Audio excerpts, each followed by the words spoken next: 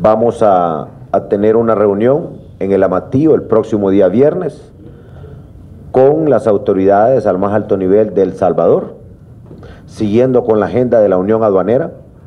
del Triángulo Norte, incorporando ya a El Salvador. La reunión es para ver los avances que tenemos en la relación bilateral, mejorando la parte aduanera con El Salvador, pero también como una antesala para que El Salvador se suba a la alianza de unión aduanera que tenemos con Guatemala.